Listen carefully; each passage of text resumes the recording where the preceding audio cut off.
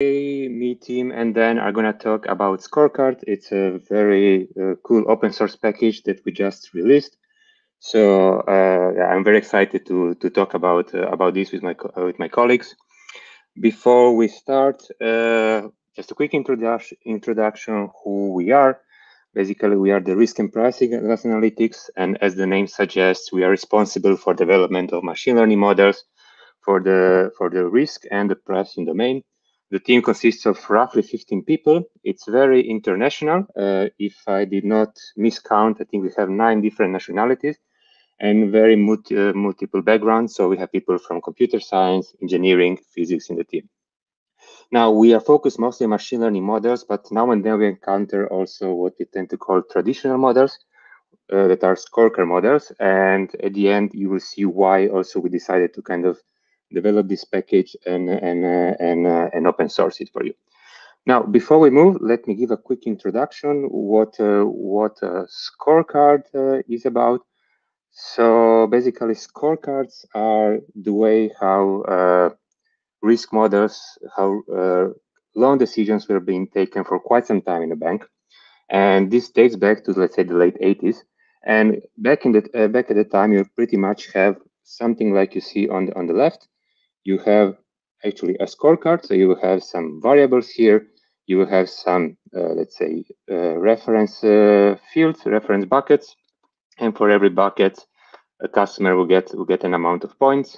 In that case, assume we have John. John is 31 year old, falls in this range. This means we get 25 points. Based on his income, he will get 28. There are multiple multiple steps. He gets a final total score, in this case of 238. This number means nothing, but also means a lot. And uh, basically, if this score is above a given threshold, the loan is approved. That's that's how it worked.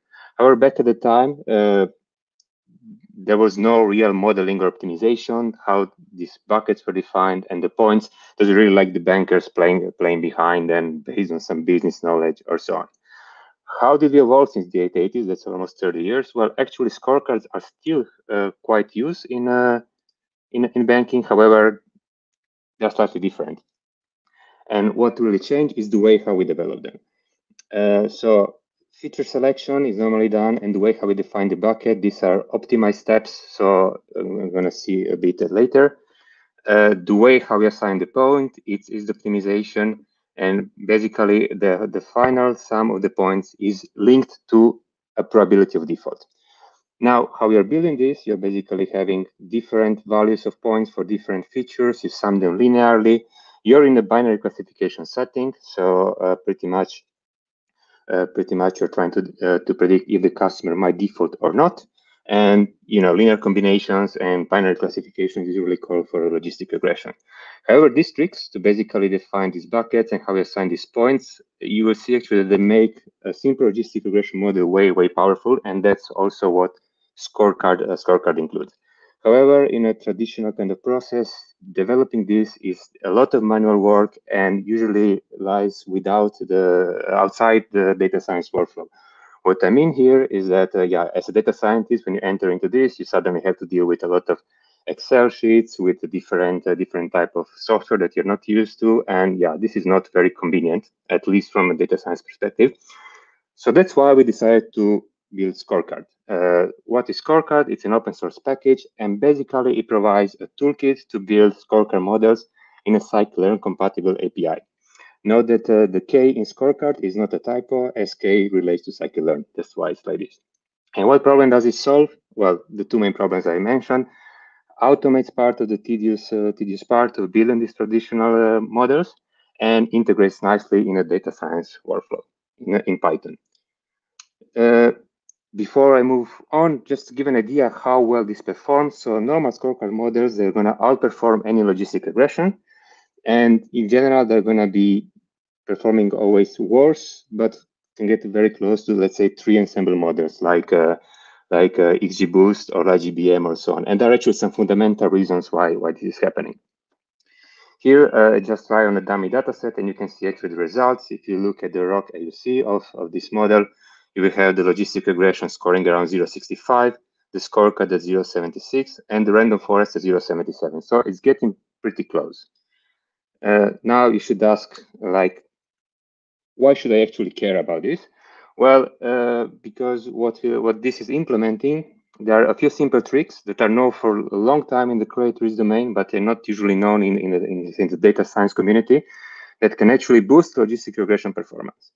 Uh, this can, if you use skorecard, you can develop quickly a baseline model that is a very, very simple model, and you can use it as a baseline for any machine learning uh, that might outperform this. Is then easy to implement. As you see, actually at the end, you're gonna end up in a, in kind of a, something that you can uh, implement even on a paper sheet.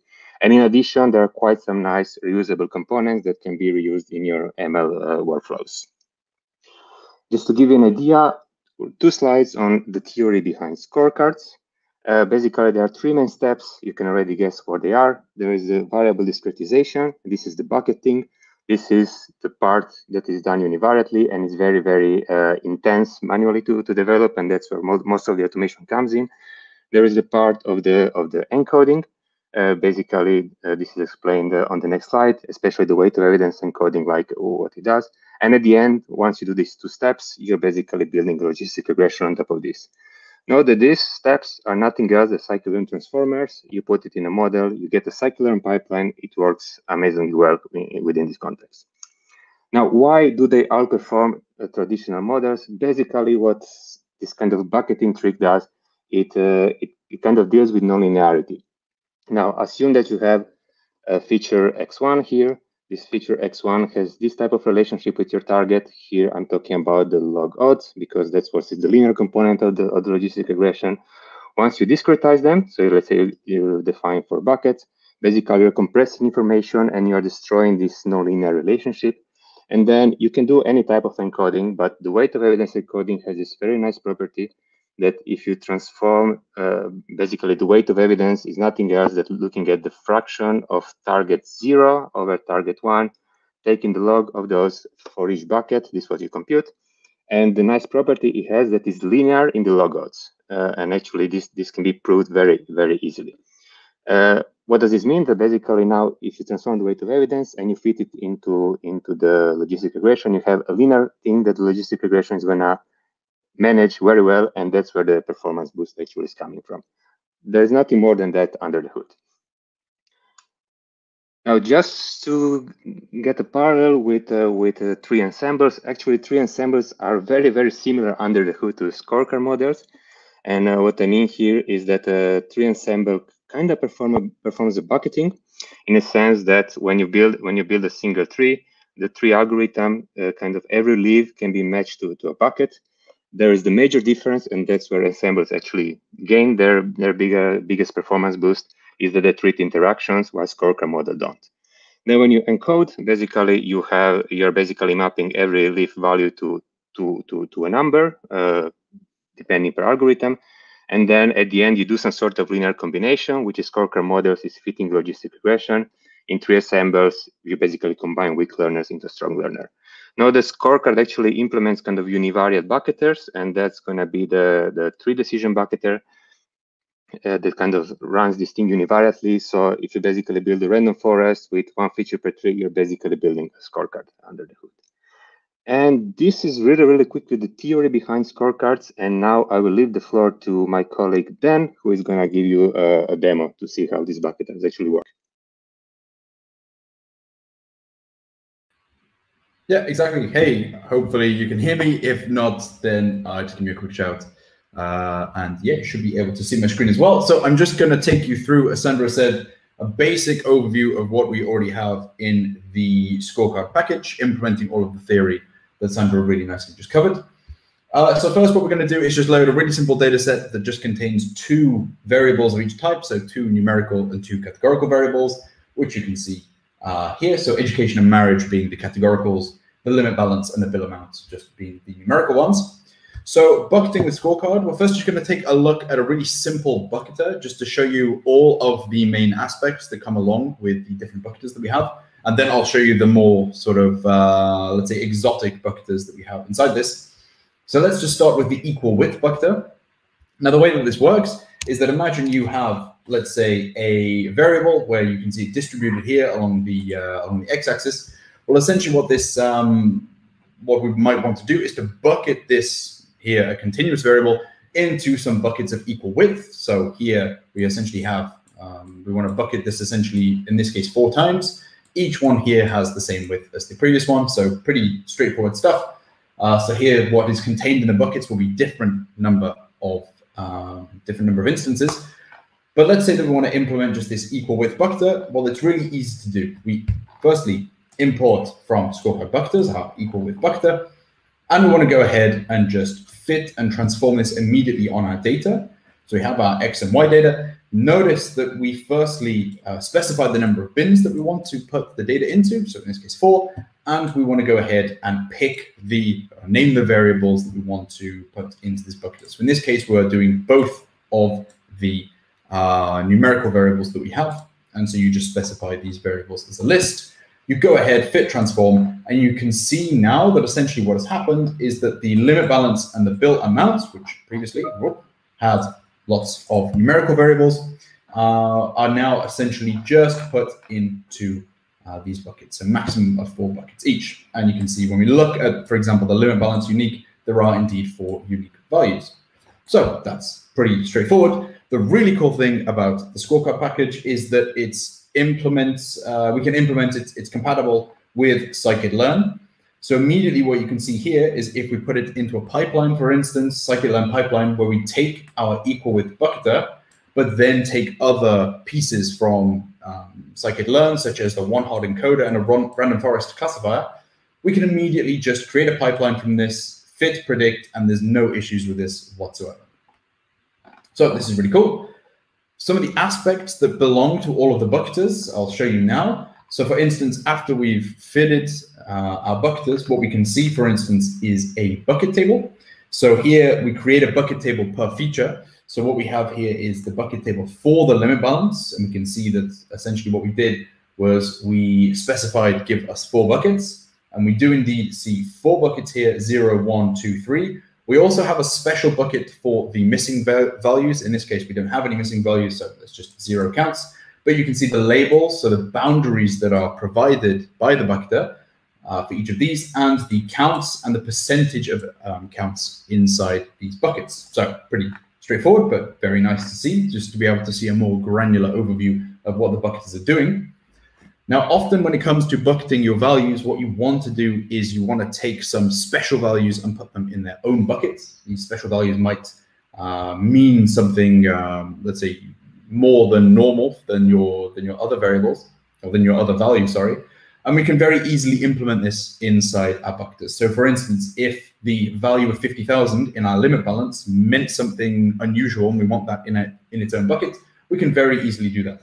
Similarly, if we want to bucket anything between 20,000 and 30,000, for instance, in its own bucket, we can easily do this. We firstly just define a specials dictionary. Again, we want to look at four bins here. We say, look at the limit balance, pass through the specials, and pass through the remainder.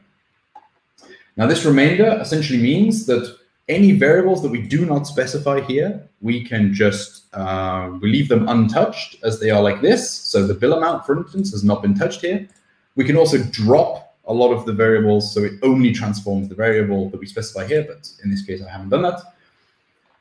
We can also specify here a missing value treatment. So often you might want to put your missing values into their own buckets. You might want to put them into the most common bucket or the most uh, the bucket with the most um, instances of class one, for instance. Uh, and we can specify that here. So in this instance, what we do with the missing treatment dictionary is we say any missing values in the limit balance, put them into bucket number two. And you can see here, for instance, this is indeed the case. So we have bucket number two here, and we see that firstly we have this boundary, but also the missing values exist in here as well. So that's very nice. The default value is to just put the missing values into the right bucket. We can now begin to plot all of the underlying data. So this essentially, this bucket table here, we can begin to plot this into its own nice little bar plot here, just showing the um, yeah, nice visualization of exactly what it is that we've been putting into this bucket table. So you can see here, for instance, there's more counts inside this bucket here than the others. And you can see if I hover over it, it's a nice interactive plot. So that is really nice. So let me just take you through briefly before I pass on to Tim and Vink, the different buckets that exist inside this package that we've created. So in a similar vein to the equal width bucket, we have an equal frequency one. So in this case, instead of saying that we want to have um, equal widths of buckets, now we want to have an equal number of counts per bucket. And this is, uh, you can see here, for instance, if we had this variable, then this would be a smaller bucket because you're capturing so many instances. And as you get further and further away from this mass here, you would need uh, buckets that get wider and wider. So this next bucket would be really, really wide. We have an agglomerative clustering bucket. So this is if you have, for example, um, main sort of points of mass inside your data. So imagine you've got your data distributed here where you've got three main points of mass. It essentially just uses the agglomerative clustering that exists within scikit-learn uh, to essentially just bucket these. Again, very easy to just import this bucket and immediately uh, invoke it in the method that I showed previously. The nice thing here is that so far I've just showed you what to do with numerical variables, but we do have um, cases where you can essentially manipulate the categorical variables. And we do that, for instance, with this ordinal categorical bucket.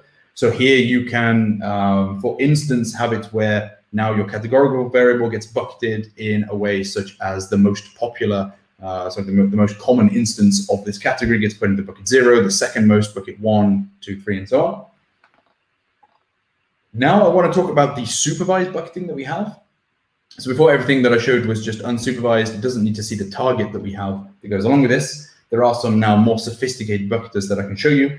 Uh, a shout out should go out to the opt binning package. So here they put in some really nice monotonicity constraints, for example, when it comes to the class one and some extra uh, things like this. So definitely worth checking out if you want to get more involved into, um, let's say, scorecard specifics. And the way that we can essentially implement this, you see now I'm essentially implementing a fit transform with both X and Y. So it's using the target to generate the buckets for this limit balance. And here we don't even need to specify the number of buckets. It tries to figure out the optimal number of buckets here. And so you can see here, um, for example, bucket eight, bucket three, and so on. So this is automatically being bucketed. Putting all of this together that I've just shown really briefly, what you can see is that in a more sophisticated approach, what we would have is the variable specified, the variable type, so categorical in this instance, the maximum number of bins that we wish to see for a particular variable, how we want to specify, how to treat missing values, and the minimum size per bin. So here, at least 5% of the instances must be present in a bucket for it to become a bucket. Otherwise, there will be no bucket. Um, so this, in the end, is when you want to start getting more and more sophisticated. You'll add more and more, let's say, uh, parameters into this. We also, furthermore, have a decision tree bucket. So here, essentially just using the decision tree algorithm from uh, scikit-learn to, again, pick the sort of optimal number of buckets that we want. So in this case, the limit balance. So this is really cool. After this, again, we can go ahead and plot the bucket table. In this instance, what we see now is a really nice, sophisticated uh, granularity of what exists inside this bucket. So the label that exists for each one. So we've declared some specials, for example, for 50,000. This gets its own special bucket, minus three. This other special for minus four, the bucket for missing values, and the 10 remaining bins that have been decided. How many of the class one exist in this bucket, how many class zero, and so on, known as the event rate here. This is the percentage. The weight of evidence and the information value also provided.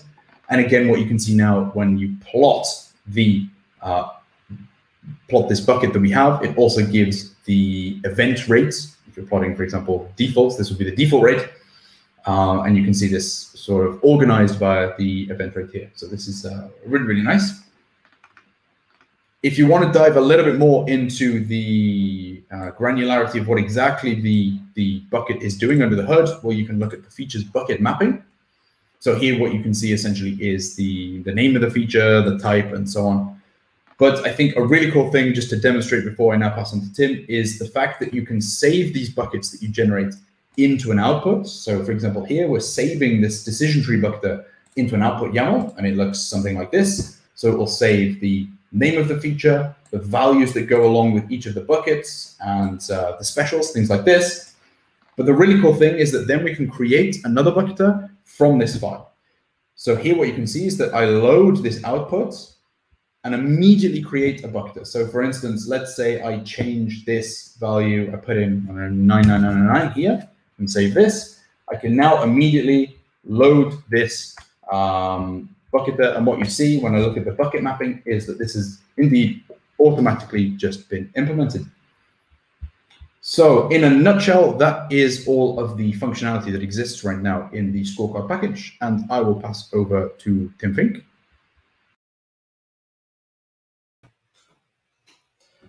All right, thanks Dan, thanks Sandro. So we've covered the theory, uh, we've covered the bucketers, and it's time to put everything together. Uh, there is, however, one more problem, and that's uh, the fact that in practice, we usually take a two-step approach to bucketing. So uh, there is uh, the raw values. Then you do some pre-bucketing into about uh, 50 to 100 um, buckets. And then you start fine tuning it into, let's say, five to 10 buckets. And the reason for that is to make the uh, optimization problem from there to there a little bit simpler. It also makes it easier to incorporate domain knowledge from experts uh, and also makes it easier to tweak a little bit with uh, constraints on your bucketing. For example, in monotonicity, that the event rate per bucket is either decreasing or increasing. Um, so for that, we've made a special type of bucketer called the, uh, oh yeah, so this, this also doesn't work. So um, a sequential pipeline um, just bucket it twice. The problem is the special values are not propagated. Um, the, the bucket mapping from the raw value to final bucket that Dan just showed also doesn't work if you do it in two steps. Um, and the inspection with the bucket tables is also not uh, not easy to uh, to inspect. So we made a special bucketer called the bucketing process, and it's it looks like a lot of code, but it's not that bad. Basically, you now have two pipelines, one here and one here. There's the pre-bucketing one, where you bucket any features that uh, that you want, and there's uh, the final bucketing, and you can specify the specials as well. And then you have a bucketing process, uh, and this will take care of uh, all the bucketing. Uh, and this bucketing process works the same as any bucketer. So let me show you. Um, this is the same bucketing process, but then with some data loaded. I have a data set, and I take this bucketing process over here, fit transform it, and now it's bucketed, and I can use exactly the same methods uh, as Dan described. So this, for example, a summary, uh, and now you see the number of pre-buckets, that's new, and the number of final buckets from 14 to 10, from 15 to 7. Uh, you can also inspect the pre-bucket table for a feature. Uh, we have 12 buckets here, and then the, the bucket table, uh, and the same for the pre-bucket table uh, plot and the bucket plot. Um, and you can do the same trick. So if you want to get the uh, the raw um, buckets in a YAML file, uh, this bucketing process will do all the math to uh, get the transformation from raw data to final bucket. Um, and that's basically what we need to put everything together. Um, so to build our final skorecard pipeline, uh, quick recap of the theory from that uh, from Sandro. We bucket our features over here. Uh, we apply weight of evidence encoding, and then we build a logistic regression. So in code, that looks like uh, our bucketing process over here, a weight of evidence encoder that we also uh, implemented this scorecard, uh, a column selector in case you want to do select some features, and uh, the logistic regression. We have a variant from skorecard that's only there to show some uh, some extra stats. Um, and again, this weight of evidence encoder, that's just um, translates a bucket number to the uh, the log of the event ratio, uh, or the, uh, let's say the default rate or the bad rate of each bucket. And that's it actually, except this uh, pipeline is bit verbose. It's very common. So we also implemented the Skorecard class. So this over here is what you would use in practice. Your model is a scorecard where you supply a bucketing process and then you can fit it. Um, and that looks like uh, this. So that's it. And this is a, you have a get stats method. So you see all the features in your model. and you can access the bucketing through model.bucketing, and you can do all the same stuff as we've shown before. Um, and uh, like Sander said, it's a really good baseline. So you could just uh, also call scorecard without any parameters. It will use the default bucketing process and it will auto-detect the categoricals. So uh, this is everything you need to do to use scorecard as a, as a baseline. You can see uh, uh, see the AOC of a scorecard model and compare it to something else in your problem. So to conclude, so that's a really fast conclusion. Uh, Skorecard is open source. It offers reusable scikit-learn components uh, that are also applicable outside of credit risk. It offers a really good baseline, so don't check it out. It's compatible with a lot of other scikit-learn compatible tools.